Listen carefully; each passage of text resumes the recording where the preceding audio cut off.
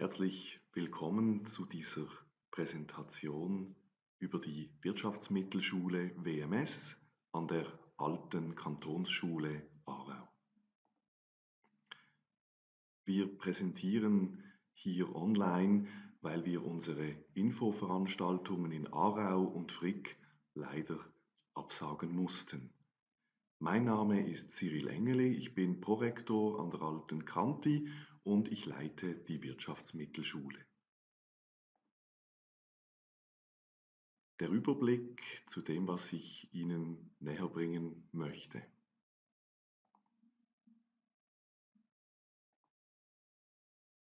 Zu Beginn einige Dinge, die sowohl für die Wirtschaftsmittelschule als auch für die Informatikmittelschule gleichermaßen gelten. Beide Lehrgänge schließen ab mit dem eidgenössischen Fähigkeitszeugnis EFZ und mit der Berufsmaturität Typ Wirtschaft. Es handelt sich bei beiden Lehrgängen um eine Vollzeitschule, die drei Jahre dauert und dann mit einem Praxisjahr, also weiteren zwölf Monaten in einem Betrieb weitergeht. Nach vier Jahren ist der Lehrgang abgeschlossen. Die Aufnahmebedingungen sind für beide Schulen die gleichen. Äh, benötigt wird ein Notendurchschnitt von 4,4 an der Bezirksschule oder 5,3 an der Sekundarschule. Wer nicht von einer SEC oder BETS kommt, hat die Möglichkeit, eine Aufnahmeprüfung zu absolvieren. Unsere Absolventinnen und Absolventen gehen häufig nach den vier Jahren Schule und Praxisjahr an eine Fachhochschule und studieren dort im Bereich Betriebswirtschaft. Möglich ist außerdem auch der spätere Einstieg an eine Universität.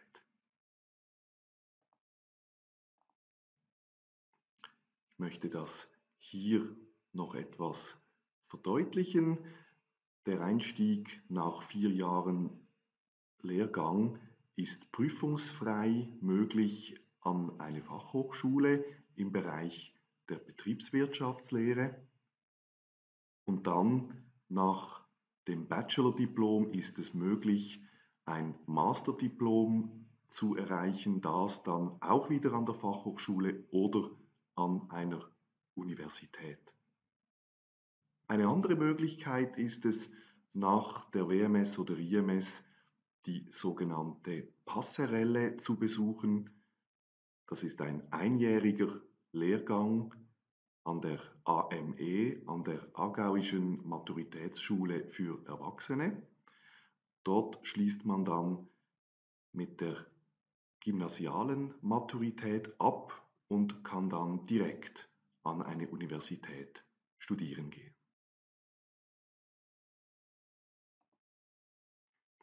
Am Beispiel der Fachhochschule Nordwestschweiz zeige ich hier typische Lehrgänge, die unsere Absolventinnen und Absolventen studieren.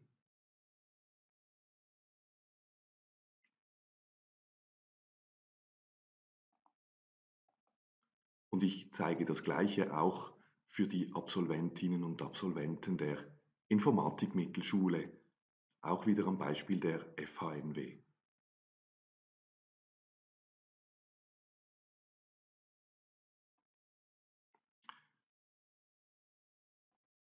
Unsere Schule möchte ich auch ganz kurz vorstellen, gegründet 1802 Zurzeit arbeiten rund 175 Lehrpersonen bei uns, natürlich nicht alle mit einem vollen Pensum.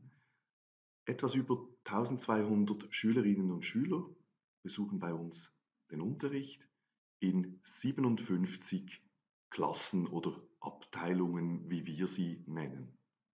Außerdem arbeiten weitere 29 Personen bei uns im Sekretariat, Hausdienst, IT. Drei Schulen werden bei uns an der Alten Kanti angeboten. Das Gymnasium, die Wirtschaftsmittelschule und die Informatikmittelschule. Gerne zeige ich Ihnen hier die Gebäude, in denen der Unterricht stattfindet. Wir haben das Hauptgebäude, das Sie schon auf der ersten Folie gesehen haben, das sogenannte Einsteinhaus. Dann rechts davon das Karorhaus und dann sehen Sie weitere Gebäude inklusive unserer Sportanlagen, die sich dann im Telly-Quartier befinden, weil es bei uns auf dem Campus dafür äh, keinen Platz hat.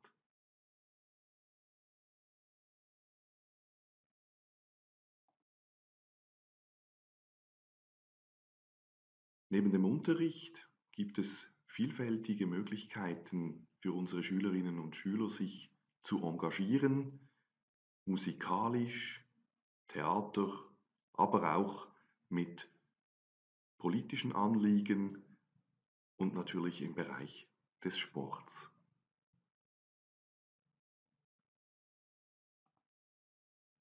Unsere Schule liegt eine Gehminute vom Bahnhof und vom Busbahnhof in Aarau entfernt und wenige Gehminuten von der Altstadt Aarau entfernt. Es ist schön, auf einem Campus zu arbeiten, zu unterrichten oder eben zur Schule zu gehen, in einem schönen Park. Eine Mensa haben wir auch, die für Verpflegung sorgt und unser Medienzentrum, das vielfältige Medien zur Ausleihe bereithält.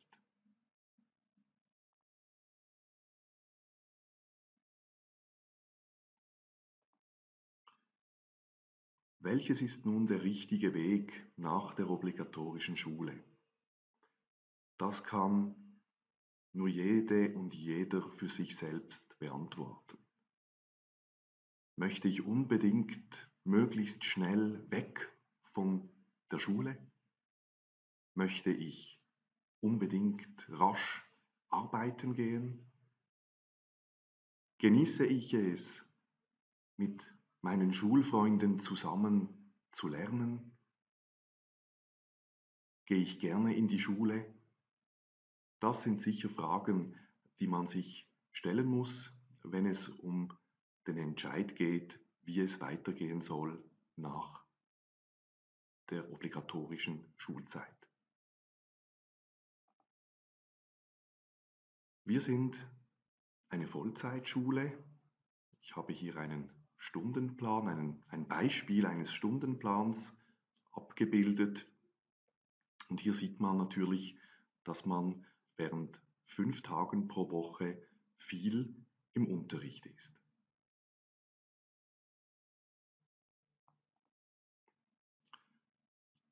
Wenn man das kurz vergleicht, was für Wege möglich sind, wenn ich äh, links beginne, dann sehe ich bei der kaufmännischen Berufslehre die Möglichkeit, diese auch mit Berufsmaturität abzuschließen in drei Jahren.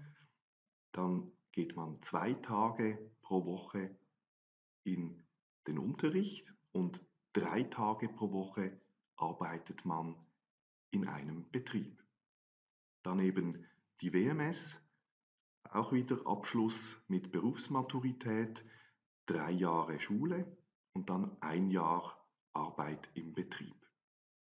Beide Wege führen zum gleichen Abschluss, nämlich zum Fähigkeitszeugnis mit Berufsmaturität. Am Gymnasium wiederum, dort dauert äh, die Schulzeit dann vier Jahre bis zur gymnasialen Maturität. Im Unterschied zur Berufslehre oder zur WMS handelt es sich bei der gymnasialen Maturität nicht um einen Berufsabschluss. Dort ist eigentlich dann ähm, erforderlich, weiterzugehen und zu studieren. Mit der gymnasialen Maturität kann man an eine Universität eintreten, aber nicht direkt an eine Fachhochschule. Nach der gymnasialen Maturität muss man dann auch noch ein Jahr arbeiten gehen, um das geforderte Praxisjahr ebenfalls nachzuweisen. Dann kann man von der gymnasialen Maturität ebenfalls an die Fachhochschule wechseln. Nach dem Abschluss der Berufslehre oder der WMS ist es dann möglich, eben direkt an eine Fachhochschule zu gehen oder natürlich auch in der Praxis weiterzuarbeiten nach dem Praxisjahr. Das Ziel zeige ich gleich zu Beginn. Das sind diese beiden Ausweise, das Fähigkeitszeugnis und die Berufsmaturität.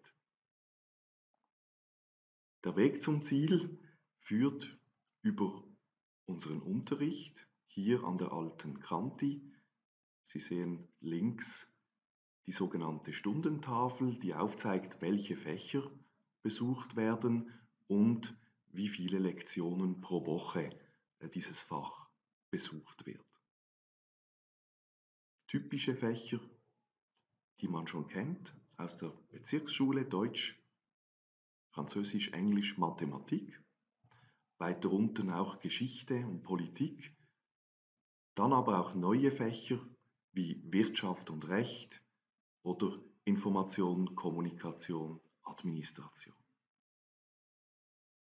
Auch Sport steht bei uns auf der Stundentafel und ist auch promotionswirksam.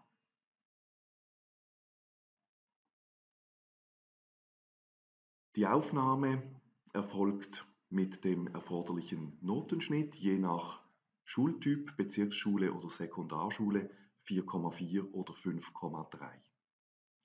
Definitiv bei uns aufgenommen sind jene Schülerinnen und Schüler, die diesen Notenschnitt im Jahreszeugnis der Bezirksschule oder der Sekundarschule erreichen.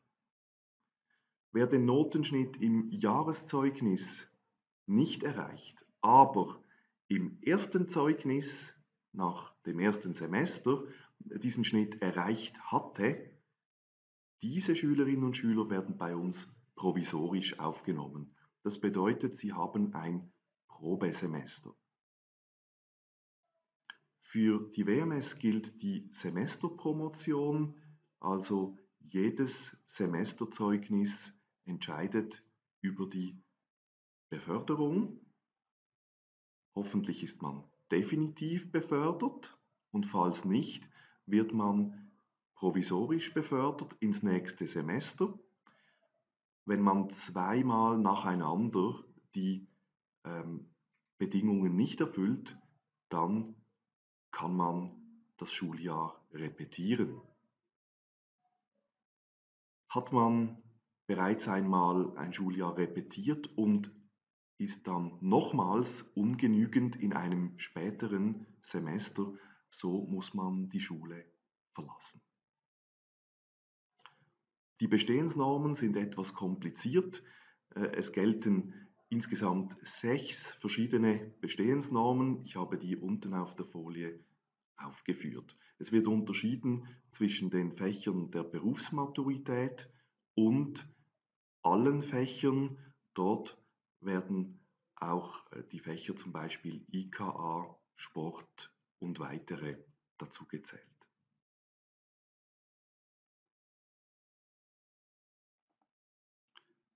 Unsere Schülerinnen und Schüler haben die Möglichkeit, externe Zertifikate zu erreichen.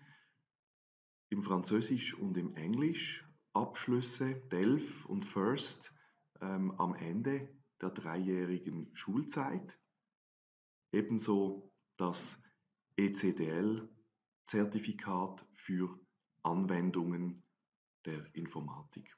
Schließlich auch noch im Fach Rechnungswesen äh, die Software Abacus, die man bei uns lernt.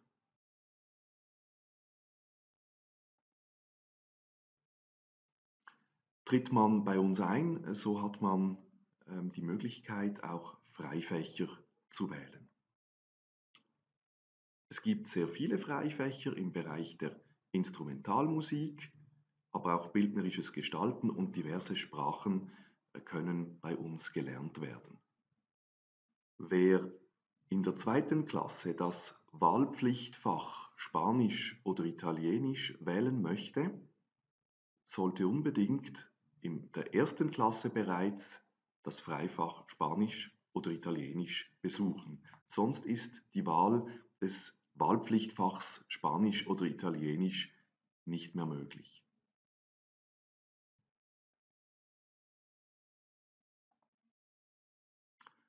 Wir haben insgesamt 39 Schulwochen. Davon sind zwei Wochen spezielle Schulwochen. In der ersten Klasse gibt es im Herbst eine Abteilungswoche. Dort ist die, die, die Schulklasse zusammen mit ihrem Abteilungslehrer oder mit ihrer Abteilungslehrerin. Außerdem gibt es eine zweite Woche. Dort gibt es verschiedene Angebote nach verschiedenen Themen. Wir nennen das Projektwoche und hier können die Schülerinnen und Schüler dann eine solche Woche wählen. Die findet dann entweder auch im Herbst oder zu einer anderen Zeit im Winter oder im Frühling statt. In der zweiten Klasse das gleiche wie in der ersten Klasse, nochmals äh, wieder die Abteilungswoche zusammen mit der gleichen Klasse und dann wieder eine Projektwoche nach Thema. Dort sind dann die Schülerinnen und Schüler gemischt aus verschiedenen Klassen. In der dritten Klasse im Herbst findet der obligatorische Sprachaufenthalt statt.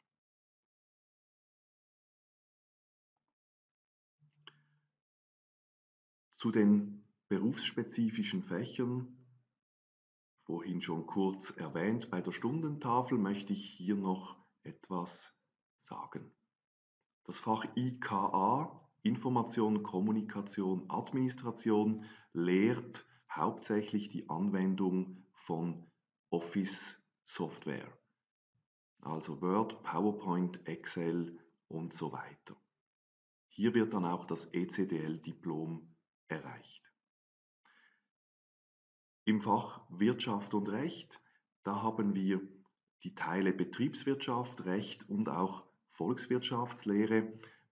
Hier geht es also vor allem darum zu verstehen, wie eben unsere Wirtschaft funktioniert. Einmal aus Sicht des Unternehmens, dann die Betriebswirtschaftslehre mit Themen wie Marketing, Organisation, Verkauf dann die Rechtskunde, wo wir uns vor allem mit dem Zivilgesetzbuch und mit dem Obligationenrecht beschäftigen. Da geht es beispielsweise um das Erbrecht oder um Verträge, ein Arbeitsvertrag, ein Mietvertrag, ein Kaufvertrag. Die Volkswirtschaftslehre, die betrachtet unsere Wirtschaft des Landes. Da geht es um Themen wie Arbeitslosigkeit, Konjunktur, Finanzen des Staates und ähnlichen Themen. Im Fach Rechnungswesen wird dann gelehrt, wie eine Buchhaltung eines Unternehmens funktioniert, wie man eine Erfolgsrechnung, eine Bilanz aufstellt und Buchungssätze bildet.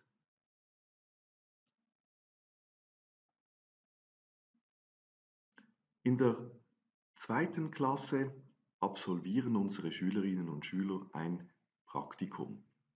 Sie versuchen das, was sie bis dahin in der Schule gelernt haben, in der Praxis umzusetzen. Während fünf Wochen sind sie in einem Betrieb und lernen dort den Umgang mit Erwachsenen, mit der Berufswelt und setzen sich eben mit typischen Aufgaben eines Kaufmanns oder einer Kauffrau auseinander.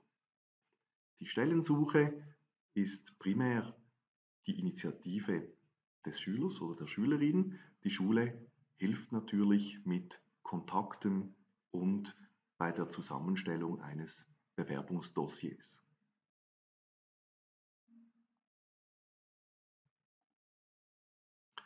Ebenfalls in der zweiten Klasse gründen unsere Schülerinnen und Schüler ein echtes Unternehmen, zu sechst, zu siebt arbeiten die Schülerinnen und Schüler während drei Stunden, während drei Lektionen pro Woche und dann noch zusätzlich in der Freizeit an einem eigenen Projekt. Sie sammeln zuerst Geld ein, um ihr Projekt zu finanzieren, versuchen dann ein Produkt selbst herzustellen oder äh, einzukaufen und dann äh, auch dieses Produkt wieder zu verkaufen.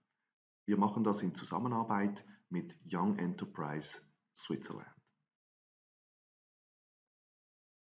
Der Sprachaufenthalt im Herbst dient natürlich dazu, sich auch auf die Abschlussprüfung vorzubereiten, die eben häufig in Form eines externen Diploms, First Certificate im Englisch oder DELF in Französisch gemacht wird.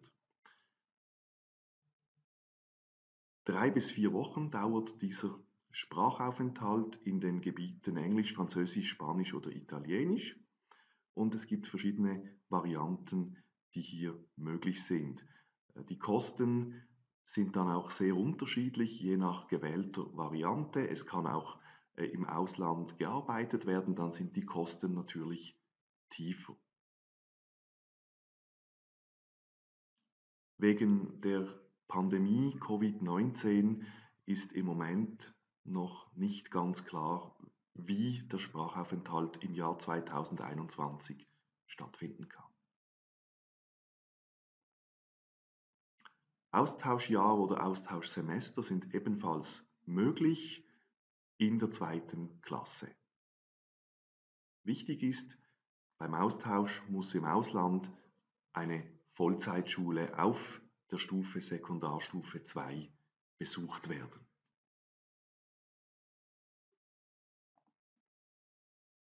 Das vierte Jahr dann findet in einem Betrieb statt. Auch hier die Stellensuche ist die auf eigene Initiative des Schülers oder der Schülerin. Die Schule unterstützt auch hier wieder mit Kontakten und mit Hilfe bei den Bewerbungsunterlagen. Die bezahlten Löhne bewegen sich etwa zwischen 1200 und 3000 Franken. Das ist sehr unterschiedlich, je nach Branche und je nach Betrieb. Im Moment ist es so, dass wir sehr viele offene Stellen haben und dass die Schülerinnen und Schüler häufig auswählen können zwischen mehreren Stellen. Die Branchenverbände sind dann zuständig für die verschiedenen ähm, Qualifikationsverfahren während des Praxisjahrs und am Ende. Wir bieten die Branchen öffentliche Verwaltung, abgekürzt OVAP, die Branche Bank und die Branche D&A, Dienstleistung und Administration an. Während des Praxisjahres arbeiten die Schülerinnen und Schüler Vollzeit in ihrem Betrieb. Sie sind dann in wenigen Tagen abwesend. Dort sind sie im überbetrieblichen Kurs und das sind dann je nach Branche sechs bis 16 Tage. Außerdem verfassen die Schülerinnen und Schüler hier noch ihre interdisziplinäre Projektarbeit IDPA. In der dritten Klasse beginnen wir damit, in der Schule und in der vierten Klasse im Betrieb wird dann die Arbeit abgeschlossen.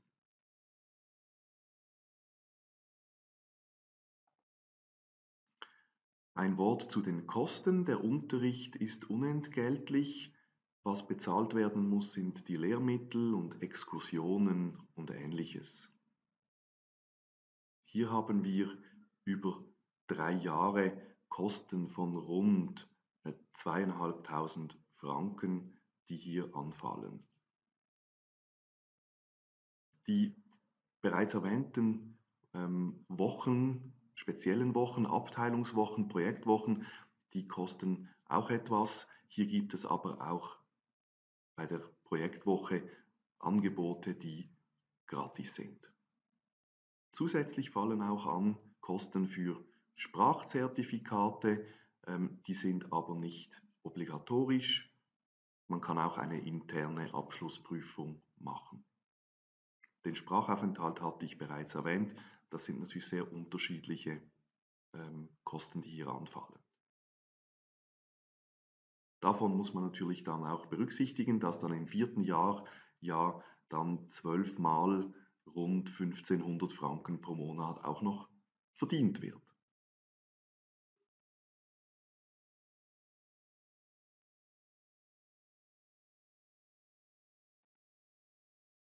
Die Anmeldung an unsere Schule erfolgt an der Bezirksschule über die Klassenlehrperson und wer sich für die Aufnahmeprüfung anmelden möchte, sollte das bis Ende Februar 2021 tun. Die Prüfungen sind dann Ende März 2021. Die ganze Anmeldung läuft nicht etwa über unsere Schule, sondern über das Departement BKS. Ich habe hier den Link angegeben, ag.ch backslash Mittelschulen. Dort kommen Sie direkt auf die verschiedenen Schultypen, Gymnasium, WMS, IMS, FMS. Dort können Sie dann bitte den Link anklicken. Sie finden alle Angaben über die Aufnahme oder über die Aufnahmeprüfung.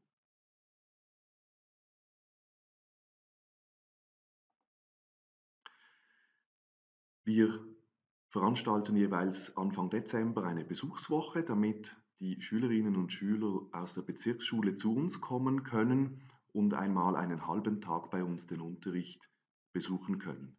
Auch kann man normalerweise jederzeit bei uns einen Halbtag schnuppern kommen. Leider können wir im Moment beide Angebote nicht machen. Äh, wegen der Pandemie mussten diese abgesagt werden.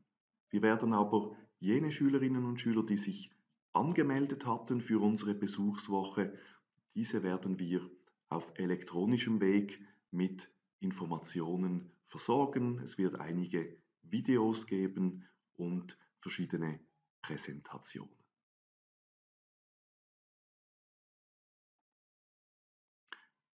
Weitere Informationen auch auf unserer Webseite altekanti.ch ch.